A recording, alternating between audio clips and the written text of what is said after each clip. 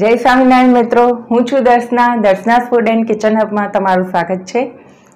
આજે આપણે બનાવીશું શ્રાવણ મહિનો હોય કે પછી ફરાળી ઉપવાસ કરવાનો હોય. વ્રત કે ઉપવાસમાં એક ટાણા માટે ખાઈ શકાય તેવી ફરાળી સ્વાદિષ્ટ થાળી બનાવીએ. આ ફરાળી થાળીમાં સાબુદાણાના વડા બનાવીશું, સાથે ધાણાની ચટણી અને મોરૈયાની ખીર બનાવીશું પૂરી બનાવીશું રાજગરાની. સાથે આપણે મોરૈયાનો પુલાવ બનાવીશું અને એકદમ ટેસ્ટી સ્વાદિષ્ટ અરબીની સબ્જી બનાવીશું. ડ્રાય પણ બનાવીશું અને ગ્રેવી સાથે પણ. તો ચાલો બનાવવાનું શરૂ કરીએ. એકદમ ઓછા સમયમાં ત્રણથી ચાર વ્યક્તિને થઈ રહી તેટલી શ્રાવણ માસની ફરાળી થાળી તૈયાર કરવા માટે સૌથી પહેલાં ત્રણ ચમચી જેટલો મોરૈયો સાફ કરીને પાણીમાં પલાળી દઈશું. જ્યારે પણ આ મોરૈયો યુઝ કરો તો પહેલાં સાફ કરીને જ યુઝ કરવાનો.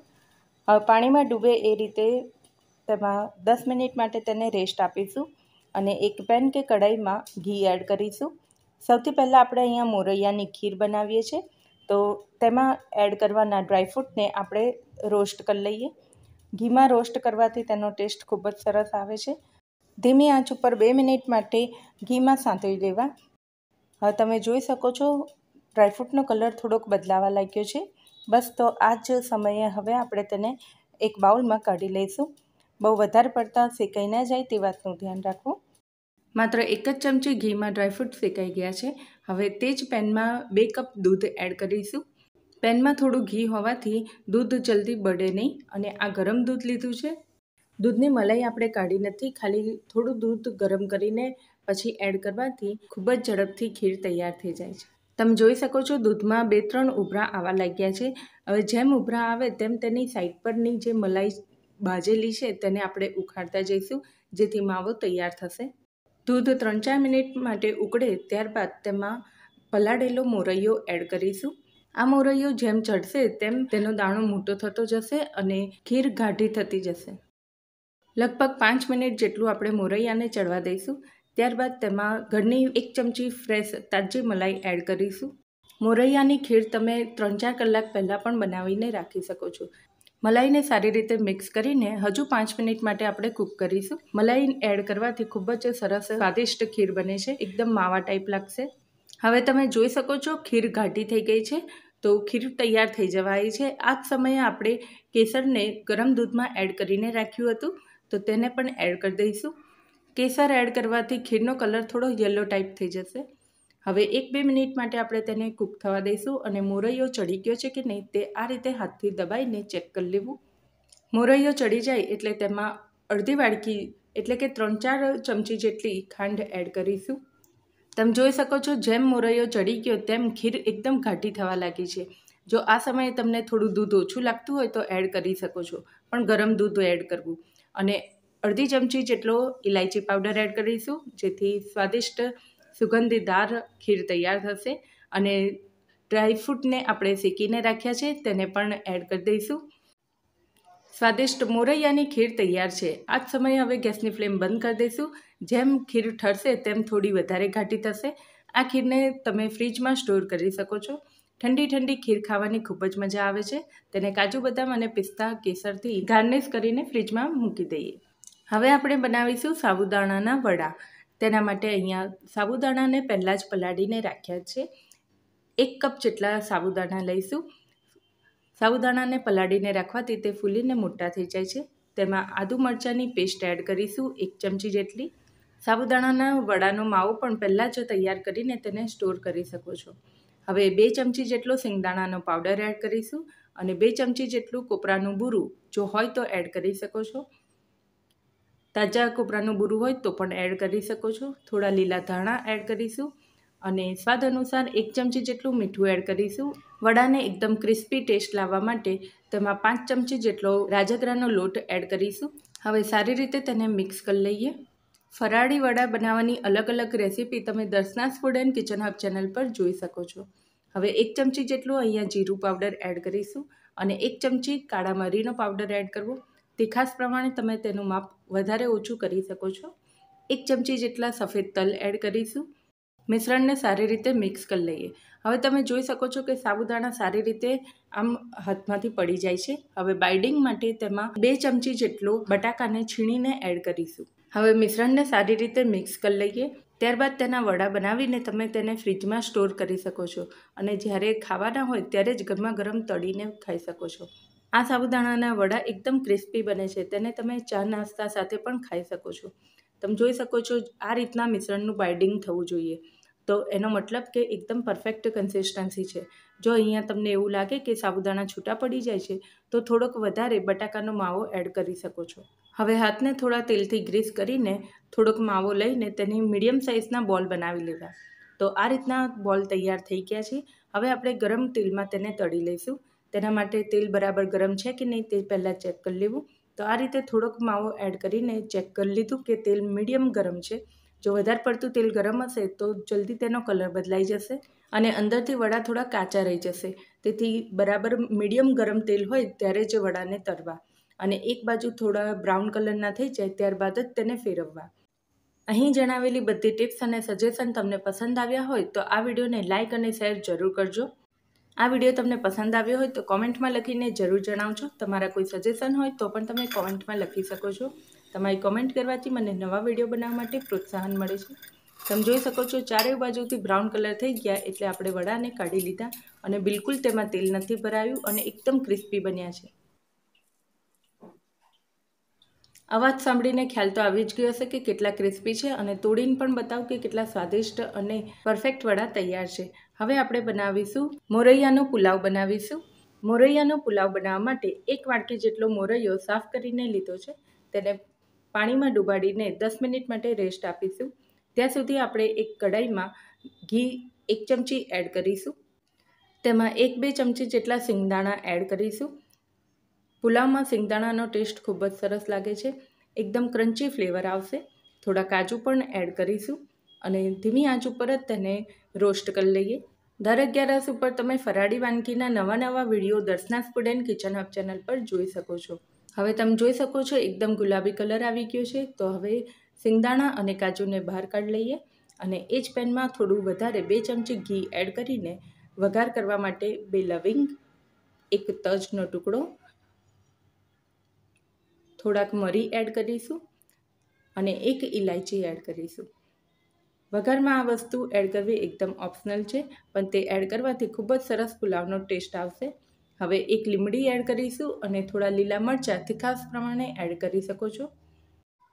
એક બટાકાને ધોઈને તેની લાંબી લાંબી ચિપ્સ કરીને રાખી છે, તેને એડ કરી દઈશું.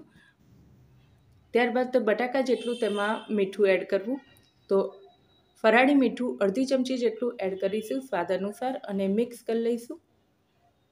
ધીમી આંચ ઉપર જ તેને શેકાવા દઈશું, બટાકો ચઢી જાય ત્યારબાદ જ તેમાં મોરૈયો એડ કરવો. જો તમારે લીલા મરચાં એડ ન કરવા હોય તો તેની જગ્યાએ આદુ મરચાંની પેસ્ટ પણ એડ કરી શકો છો. હવે તમે જોઈ શકો છો બટાકો ચડી જવા આવ્યો છે. આ રીતે ચબીથાની મદદથી કટ કરીને જોઈ લેવું. બટાકો ચડી ગયો છે તો આ સમયે આપણે મોરૈયું એડ કરી દઈશું. જો તમે પુલાવ બનાવતા હોય અને બટાકો ના ખાતા હોય તો તેને સ્કીપ પણ કરી શકો છો. હવે મોરૈયાને સારી રીતે ઘીમાં મિક્સ કરી લઈએ, જેથી ફ્લેવર પણ તેમાં આવી જાય અને સ્વાદ અનુસાર એક ચમચી જેટલું મીઠું એડ કરીશું. આ ફરાળી મીઠું લીધું છે, તે વાતનું ધ્યાન રાખવું. એક બે મિનિટ માટે આપણે મોરૈયાને આ જ રીતે ધીમી આંચ ઉપર થોડીવાર શેકાવા દઈશું. ત્યારબાદ તેમાં જેટલો મોરૈયો લીધો છે, તેનાથી બે ગણું પાણી એડ કરવું. એટલે કે એક બાઉલ જેટલું પાણી એડ કર્યું છે. અહીંયા પાણી પણ ગરમ લીધું છે, તેથી જલ્દી મોરૈયો તૈયાર થઈ જશે. હવે જે આપણે રોસ્ટ કર્યા હતા, સિંગદાણા અને કાજુ, તેને પણ એડ કરી દઈશું અને ધીમી આંચ ઉપર તેને થવા દઈશું. ત્યાં સુધી આપણે પૂરી બનાવી તેના માટે એક કપ રાજાગ્રાનો લોટ લીધો છે. તેમાં સ્વાદ અનુસાર એક પિંચ જેટલું મીઠું એડ કરીશું અને એક બટાકાને બાફીને, છીણીને એડ કરવું. લગભગ એક બે ચમચી જેટલો બટાકો લીધો છે અને એક ચમચી જેટલું તેલ એડ કરીશું. બરાબર મૂણ એડ કર્યું હશે તો પૂરી ખૂબ જ સરસ બનશે. સારી રીતે તેને મિક્સ કરી લઈએ અને ગરમ પાણી બે ત્રણ ચમચી જેટલું એડ કરતા જઈશું અને લોટમાં મિક્સ કરતા રહીશું. અહીંયા દસ બાર પૂરી થાય એટલો જ લોટ બાંધવાનો છે. તેથી પાણી તમે ધીરે ધીરે હુંફાળું પાણી એડ કરતા રહેવું અને લોટની કણક તૈયાર કરવી. અહીંયા બહુ કઠણ નહીં કે બહુ ઢીલો નહીં, એ રીતનો લોટ બાંધેલો છે. અહીંયા બટાકામાં પણ મોઇસ્ચર હોય છે, તેથી પાણી બહુ એડ કરવાની જરૂર પડતી નથી. હવે દસ મિનિટ માટે લોટને બાંધીને રેસ્ટ આપીશું. ત્યાં સુધી આપણે ધાણાની ચટણી બનાવી દઈએ. તો ચટણી બનાવવા માટે સો ગ્રામ જેટલા લીલા ધાણા ધોઈને સમારીને એડ કરવા, એક લીલું મરચું એડ કરવું કટ કરીને બે ચમચી સિંગદાણાનો પાવડર એક ચમચી સફેદ તલ, બે ચમચી દહીં એડ કરવું અથવા તો છાશ હોય તો તે પણ એડ કરી શકો છો. એક ચમચી ખાંડ એડ કરવી અને ગ્રાઇન્ડ કરી લેવું. તો લીલા ધાણાની ફરાળી ચટણી તૈયાર છે. આ ચટણીને એક વાડકીમાં આપણે કાઢી લઈશું. હવે ચટણી બનાવતી વખતે આપણે મીઠું એડ નથી કર્યું. તો અહીંયા સ્વાદ અનુસાર ફરાળી મીઠું અડધી ચમચી જેટલું એડ કરી દઈશું અને સારી રીતે તેને મિક્સ કરી લઈએ. આ ધાણાની ચટણી તમે રોટલી સાથે, પરાઠા સાથે, થેપલા સાથે કે વડા સાથે પણ ખાઈ શકો છો. તો સાબુદાણાના વડા સાથે આપણે લીલા ધાણાની ચટણી બનાવી છે. આ ચટણી ખૂબ જ સ્વાદિષ્ટ બને છે. આઈ હોપ આ રેસીપી તમને ખૂબ જ પસંદ આવશે. હવે તમે જોઈ શકો છો પુલાવ પણ તૈયાર થઈ ગયો છે. એકદમ સરસ છૂટો છૂટો દાણો તૈયાર થયો છે. તેને આપણે લીલા ધાણાથી ગાર્નિશ કરી લઈશું. હજુ સુધી તમે Darshana's food and kitchen hub ચેનલને સબસ્ક્રાઇબ ના કરી હોય તો સબસ્ક્રાઇબ કરી લો. બે આઇકોનને દબાવો, જેથી દરેક નવા વિડીયોના નોટિફિકેશન તમને મળતા રહે. Darshana's food and kitchen hub ચેનલને તમે ફેસબુક, ઇન્સ્ટાગ્રામ અને ટ્વિટર પર પણ ફોલો કરી શકો છો. સ્વાદિષ્ટ ફરાળી પુલાવ તૈયાર થઈ ગયો છે. હવે આપણે બનાવીશું રાજગરાની પૂરી બનાવીએ. તેના માટે તેને પહેલાં તેલથી ગ્રીસ કરી લઈએ અને થોડી વાર માટે મસળી લઈએ. રાજગરાની પૂરી બનાવવા માટે રાજગરાનો ઝીણો લોટ લીધો છે. રાજગરાની પૂરી મોસ્ટ ઓફ તેની ધાર ઉપરથી ફાટવા લાગે છે. તો એમ ન બને એના માટે અહીંયા આપણે બટાકાનો માવો પણ થોડો મિક્સ કર્યો છે. હવે દસથી બાર જેટલા ગુલ્લા તૈયાર થઈ ગયા છે અને સાથે તેલ પણ ગરમ કરવા મૂકી દીધું છે. હવે પૂરીને હલકા હાથે મીડિયમ સાઇઝની વણી લઈશું. આ રીતે આપણે બધી જ પૂરી તૈયાર કરી લેવી. જો તમને એવું લાગે કે નીચે ચોંટી જાય છે, તો તેને ફરાળી લોટથી અથવા તો રાજગરાના ઝીણા લોટથી વટામણ તરીકે ઉપયોગ કરી શકો છો. તેલ ગરમ કરવા મૂકી દીધું છે. મીડિયમ તેલ ગરમ થાય એટલે પૂરીને તળી લઈશું. તેલમાં પૂરી એડ કરતાની સાથે તે ફૂલીને ઉપર આવે છે. ત્યારબાદ તેને બીજી બાજુ પલટાવી દઈશું અને બીજી બાજુ પણ તેને થવા દઈશું. લગભગ એક બે મિનિટ જેટલું જ લાગે છે. બહુ ઝડપથી આ પૂરી તૈયાર થઈ જાય છે. તો ગેસની ફ્લેમ મીડિયમ જ રાખવી, બહુ હાઈ પણ ના હોય કે બહુ લો પણ ના હોય, એ રીતે આપણે બધી જ પૂરીને તળી લઈશું. તમે જોઈ શકો છો, પૂરી ખૂબ જ સરસ ફૂલીને ઉપર આવી જાય છે. તો ફૂલેલી પૂરી રાજગરાની અને તે પણ બિલકુલ તેલ ના ભરાય એવી સરસ ટેસ્ટી પૂરી તૈયાર થઈ છે. આ રીતે કુરકુરી પૂરી બનાવવા માટે Darshana food and kitchen hub channel પર બની રહેજો. હવે આપણે બનાવીશું અરબીની સબ્જી.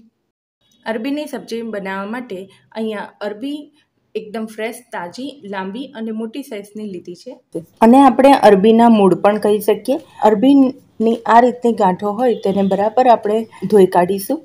અહીંયા અરબીની પસંદગી કેવી રીતે કરવી તે પણ હું તમને જણાવીશ. તો વીડિયો વચ્ચે સ્કીપ ના કરતા, પૂરેપૂરો જોજો અને પસંદ આવે તો લાઇક અને શેર જરૂર કરજો. અરબી બહુ નાની હોય તેવી ન પસંદ કરવી અને તેમાં ગાંઠો વધારે હોય તો એ પણ ન લેવી. અરબી મીડિયમ સાઇઝની અને સીધી પસંદ કરવી, જેથી સબ્જી ખૂબ જ સ્વાદિષ્ટ બને છે હવે આપણે બધી સબ્જીને બાફી લઈશું. તેના માટે એક કડાઈમાં બે ગ્લાસ જેટલું પાણી મૂક્યું છે. તેમાં એક ટામેટું, લીલા મરચાં, આદુ અને સો ગ્રામ જેટલી કોબીજને ધોઈને સમારી લીધી છે અને તેને નાના ટુકડામાં ડિવાઈડ કરીને એડ કરી દઈશું. તમે તેના મોટા પાના પણ એડ કરી શકો શાકની ગ્રેવી માટે આપણે કોબીજનો ઉપયોગ કર્યો છે. જો ના ખાતા હોય તો સ્કીપ કરી શકો છો.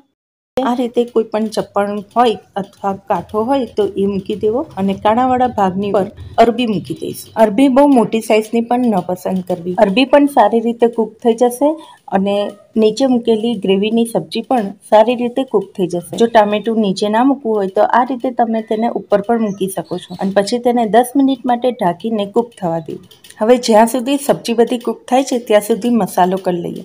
તેના માટે એક બાઉલમાં બે ચમચી લાલ કાશ્મીરી મરચું એડ કરીશું. બે ચમચી ધાણા જીરું પાવડર, અડધી ચમચી સફેદ તલ અને અડધી ચમચી વરિયાળી, એક ચમચી હળદર, અડધી ચમચી જીરું, અડધી ચમચી અજમો.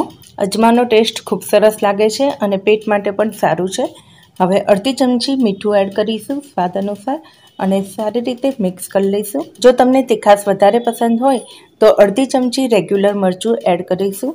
સબ્જીનો મસાલો આ રીતે તૈયાર થઈ ગયો છે. બરાબર મસાલાને મિક્સ કર્યા બાદ હવે આપણે બોઇલ સબ્જી થઈ ગઈ છે કે નહીં તે ચેક કરી લઈએ. તો તેના માટે આ રીતે ચપ્પુ નાખીને તમે ચેક કરી શકો છો કે અરબી સારી રીતે ચડી ગઈ છે. તમે જોઈ શકો છો ગ્રેવીની પણ સબ્જી સારી રીતે ચડી ગઈ છે. તમે પણ આ ચટરીક અપનાવજો. ખૂબ જ ઝડપથી સબ્જી તૈયાર થઈ જશે. હવે ગ્રેવીની સબ્જીમાંથી જે પણ પાણી છે તે બધું જ આપણે બહાર કાઢી લઈશું. આ રીતે કોઈ પણ ચાયણાની મદદથી બધી સબ્જીનું પાણી બહાર કાઢી લેવું જે આપણે શાકમાં રસા તરીકે ઉપયોગમાં લઈશું. હવે ગ્રેવી માટે જે કોબીજ આદુ વગેરે સબ્જી બફાઈ ગઈ છે. જે પણ તમે સબ્જી બાફવા મૂકી હતી તે બધાને આપણે પીલી લઈશું. અને અહીંયા અરબી ઠંડી થઈ જાય એટલે તેના છોડા કાઢી લેવા. બાફેલી બધી સબ્જીને આપણે દસ મિનિટ માટે ઠંડુ થવા દઈશું રેસ્ટ આપીશું. ત્યારબાદ જ આ સ્ટેપ કરવું. અને જો અરબીમાં હાથમાં કેટલીક વાર એવું થાય છે કે ચેર આવે છે, તો હાથ પર થોડું તેલ લગાવી દેવું. ત્યારબાદ અરબીના છોડા કાઢજો. અરબીને જો કુકરમાં બાફવા મૂકી હોત ને, તો વધારે કૂક થઈ જાય છે. માત્ર એક કે બે સીટી કુકરમાં વગાડવી. હવે વધુ કૂક ન થઈ જાય તે માટે આપણે કઢાઈમાં તેને કૂક કરી લીધી છે. તો અરબી સારી રીતે ચડી ગઈ છે, તમે જોઈ શકો છો, તેના છોડા પણ એકદમ આસાનીથી નીકળી જાય છે. અરબીની સબ્જી તૈયાર કરવાની આ ટ્રીક જો તમને પસંદ આવી હોય, તો કોમેન્ટમાં મને લખીને જરૂર જણાવજો. તમારી કોમેન્ટ કરવાથી મને નવા વીડિયો બનાવવા માટે પ્રોત્સાહન મળે છે. તો કોમેન્ટ જરૂર કરજો. અરબીની સબ્જીમાં અરબી ફિક્કી ન લાગે, મસાલેદાર લાગે, તે માટે આપણે અહીંયા અરબીમાં આ રીતે ચપ્પાની મદદથી થોડા કટ લગાવી દઈશું. જેથી મસાલો સારી રીતે તેની અંદર કોટ થઈ જાય. આ સિવાય જો તમારી જોડે કાંટાવાળી ચમચી હોય તો તેનો પણ ઉપયોગ કરી શકો છો. અને અરબી અહીંયા આપણે આખી જ રાખી છે. તેથી જો બહુ મોટા પીસ હોય તો તેના વચ્ચેથી બે કટ માર લેવા. આ રીતની નવી નવી રેસીપી જોવા માટે હજુ સુધી તમે Darshana's food and kitchen hub ચેનલને સબસ્ક્રાઇબ ના કરી હોય તો સબસ્ક્રાઇબ કરી લો. બે લાઇકનને દબાવો જેથી દરેક નવા વિડીયોના નોટિફિકેશન મળતા રહે. અરબીમાં કટમાર્ક થઈ ગયા છે. હવે આપણે જે તૈયાર મસાલો કર્યો છે તે એડ કરી દઈશું. બધો જ મસાલો આ રીતે સ્પ્રેડ કરી દેવો. ત્યારબાદ તેને ઉપર કોટ સારી રીતે થઈ જાય તે માટે બે ચમચી જેટલું તેલ એડ કરીશું અને મિક્સ કરી લઈશું. Darshana's food and kitchen hub ચેનલને તમે ફેસબુક, ઇન્સ્ટાગ્રામ અને ટ્વિટર પર પણ ફોલો કરી શકો છો. હવે અરબી દસ મિનિટ માટે મેડિટેટ થાય છે. ત્યાં સુધી આપણે ગ્રેવીની તૈયારી કરીએ. તો ગ્રેવી માટે આપણે સબ્જી તો બોઇલ કરીને જ રાખી છે. તેથી ખૂબ જ ઝડપથી ગ્રેવી પણ તૈયાર થઈ જાય છે. લગભગ એક ગ્લાસ જેટલું પાણી જે બાફતી વખતે વધ્યું છે તેને આપણે રસામાં યુઝ કરીશું. સબ્જીને મિક્સરમાં ગ્રાઇન્ડ કરી લઈએ. ગ્રેવી માટે એકદમ સ્મૂથ પેસ્ટ તૈયાર કરીશું અને આનો જે રસો બને છે ને, આ રસાદાર સબ્જી તમે રાઈસ સાથે પણ ખાઈ શકો છો. અહીંયા એકદમ નાની નાની વાત પણ હું તમને જણાવતી જઉં છું. બધી સિક્રેટ ટિપ્સ જણાવું છું. જેથી તમે પહેલી વાર પણ આ સબ્જી બનાવતા હોય ને, તો પણ ખૂબ જ સ્વાદિષ્ટ બનશે અને તમને બિલકુલ તકલીફ નહીં પડે. હવે તમે જોઈ શકો છો, મિક્સરમાં એકદમ સ્મૂથ પેસ્ટ આપણે ગ્રેવીની તૈયાર કરી છે. હવે એક કઢાઈમાં આપણે ત્રણ ચાર ચમચી જેટલું તેલ મૂકીશું. તેલ ગરમ થાય એટલે તેમાં મસાલાવાળી અરબીને ફ્રાય કરી લઈશું. આ સ્ટેપ કરતી વખતે ગેસની ફ્લેમ એકદમ સ્લો રાખવી. સબ્જીને ધીમી આંચ ઉપર પાંચ મિનિટ માટે આપણે શેકાવા દઈશું. અરબીની આ સબ્જીને તમે વ્રત અગિયારસમાં પણ ફરાળ તરીકે ઉપયોગમાં લઈ શકો છો.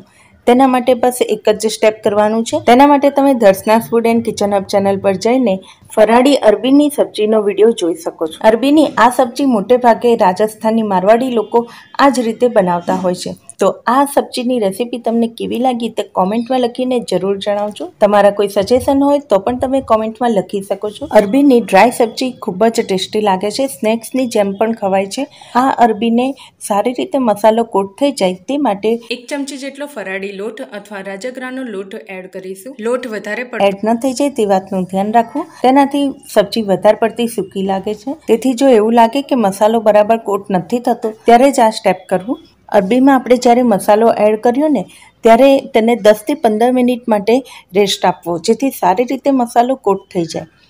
ત્યારબાદ તેને આ રીતે ફ્રાય કરીશું. હવે તમે જોઈ શકો છો કે બે મિનિટ બાદ સારી રીતે અરબી એકદમ ડ્રાય થઈ જવાય છે અને સારી રીતે શેકાઈ પણ ગઈ છે. ઉપર મસાલો કોટ થઈ ગયો છે. તો હવે લીંબુનો રસ એડ કરીશું. ત્યારે ગેસની ફ્લેમ બંધ કરી દેવી. હવે થોડા લીલા ધાણા ગાર્નિશ કરીશું. તમે જોઈ શકો છો, સ્વાદિષ્ટ અરબીની સબ્જી તૈયાર થઈ ગઈ છે. આ સબ્જીને તમે રોટલી સાથે પણ ખાઈ શકો છો અને એમ નેમ ચમચી સાથે પણ ખાઈ શકો છો.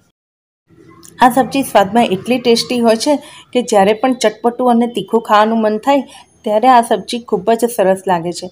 અને જો બટાકો ના હોય ને, તો અરબીની આ સબ્જી બનાવશો તો તમે બટાકાને પણ ભૂલી જશો. જોતાં જ ખાવાનું મન થઈ જાય, આ વાળી પણ બનાવી શકો છો અને તેને પરાઠા સાથે, કુલચા સાથે પણ ખાઈ શકો છો. જોયું ને જોતાં જ ખાવાનું મન થઈ જાય એવે અરબીના સ્નેક્સ તૈયાર છે. બાળકોને તો ખૂબ જ પસંદ આવે છે. ઉપર મસાલો પણ સારી રીતે કોટ થઈ ગયો છે. હું તમને તોડીને બતાવું કે કેટલી સરસ કુરકુરી, ક્રિસ્પી અને ટેસ્ટી અરબી તૈયાર છે. અરબીની આ રેસીપી તમને કેવી લાગી તે કોમેન્ટમાં ખાસ લખીને જણાવજો. તમે જોઈ શકો છો કેટલો સરસ મસાલો કોટ થયો છે. હવે આપણે ગ્રેવીવાળી રસાદાર સબ્જી બનાવવા માટે તે જ કઢાઈમાં એક ચમચો તેલ એડ કરીશું. તેલ થોડું ગરમ થાય એટલે તેમાં થોડા ખડા મસાલા એડ કરીશું અને મરી. બધું એક બે એક બે અને જીરાનો વઘાર કરીશું. એક ચમચી જીરું એડ કરીને જે પેસ્ટ તૈયાર કરી છે તે એડ કરી દઈશું. બધા વેજીટેબલ બોઇલ કરીને પછી ગ્રાઇન્ડ કરી લીધા છે. તેથી ખૂબ જ ઝડપથી ગ્રેવી તૈયાર થઈ જાય છે. હવે મસાલો કરીશું. અડધી ચમચી હળદર, એક ચમચી લાલ મરચું પાવડર ટેસ્ટ પ્રમાણે તમે મસાલા વધારે ઓછા કરી શકો છો. અડધી ચમચી ગરમ મસાલો. એક ચમચી લાલ કાશ્મીરી મરચું. એક ચમચી ધાણા જીરું પાવડર બધા મસાલા મિક્સ કરી લઈએ. હવે ગ્રેવી જેટલું મીઠું એડ કરીશું, એક ચમચી. ત્યારબાદ મસાલાને વધારે ટેસ્ટી બનાવવા માટે બધા જ મસાલા બરાબર શેકાવા ખૂબ જરૂરી છે. તેના માટે હવે આપણે ઢાંકીને બે મિનિટ માટે કૂક થવા દઈશું. મસાલા સારી રીતે શેકાઈ ગયા છે. હવે તેમાં એક ગ્લાસ જેટલું પાણી એડ કરીશું. જે આપણે સબ્જીને બાફી હતી, તેનું જે વધ્યું છે પાણી, તે જ એડ કરી દેવું. હવે ગ્રેવીને ફરી બે મિનિટ માટે કૂક થવા દઈશું. જ્યાં સુધી તેલ ના છૂટું પડે, ત્યાં સુધી આપણે કૂક કરીશું. હવે આ સબ્જીમાં થોડી ખટાશ હોય ને તો ખૂબ જ ટેસ્ટી લાગે છે. તે માટે અહીંયા અડધી વાડકી જેટલું દહીં એડ કર્યું છે. દહીંની જગ્યાએ તમે જો છાશ હોય તો પણ એડ કરી શકો છો. ગ્રેવી ઉકળે ત્યાં સુધી આપણે તેને કૂક કર્યા બાદ, તેમાં જે ફ્રાય કરેલી મસાલા અરબી છે તે એડ કરી દઈશું. આ સબ્જીને રાઈસ સાથે પણ ખાવામાં આવે છે. ખૂબ જ ટેસ્ટી લાગે છે. તમે જરૂર આ સબ્જી એકવાર ટ્રાય કરજો અને તમારા અનુભવ કોમેન્ટમાં લખીને જરૂર જણાવજો. હવે સબ્જીને ફરી બે મિનિટ માટે કૂક થવા દઈએ. તેલ પણ છૂટું પડી ગયું છે. હવે ગેસની ફ્લેમ બંધ કરી દઈશું અને લીલા ધાણાથી ગાર્નિશ કરીશું. તમે જોઈ શકો છો ગ્રેવીનો ખૂબ જ સરસ લાલ કલર આવ્યો છે. પંજાબી શાકને પણ ટક્કર મારે ને એવું આ સબ્જી તૈયાર થઈ છે. તમે આ રેસીપી જરૂર ટ્રાય કરજો. ગ્રેવી સાથે અને ડ્રાય સબ્જી, બંનેમાંથી કઈ સબ્જી તમને વધુ ટેસ્ટી લાગી તે પણ કોમેન્ટમાં લખીને જરૂર જણાવજો. ફરી મળીશું આ જ રીતે નવા વીડિયો સાથે. ત્યાં સુધી આવજો. બાય. Thank you. જય સ્વામિનારાયણ.